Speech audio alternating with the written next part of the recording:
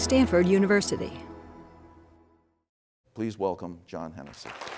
If you think about what a student experience might look like in the future, it might consist of smaller seminars, hands-on, interactive classes combined with online classes as the model. We actually believe that we'll be able to demonstrate that this is more effective as a learning style than a conventional large lecture. Because if you go to that conventional large lecture, you stand in the back, you know, everybody's got their laptop open.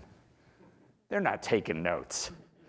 They're on Facebook, they're on sending email to their friends, they're surfing the web. The large lecture given today's student who is completely at home with technology probably has a somewhat shorter attention span for the traditional lecture model. I think we'll learn better in that model. I think we also, as we see the growth that's going on in various areas of medical research, stem cells, genetic medicine, neuroscience, these are all going to be monstrously computationally intensive areas for us in the long term. We need to move ever increasingly to computation as a tool we leverage because, quite simply, having students in labs doing one experiment a week um, doesn't allow the rate of progress that we need to really get to fundamentally new understandings, either of how the brain works and what we can do about degenerative diseases or brain injury, or what we can do to really develop the next generation of drugs that can attack the chronic diseases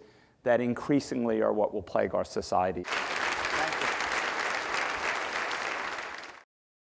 For more, please visit us at stanford.edu.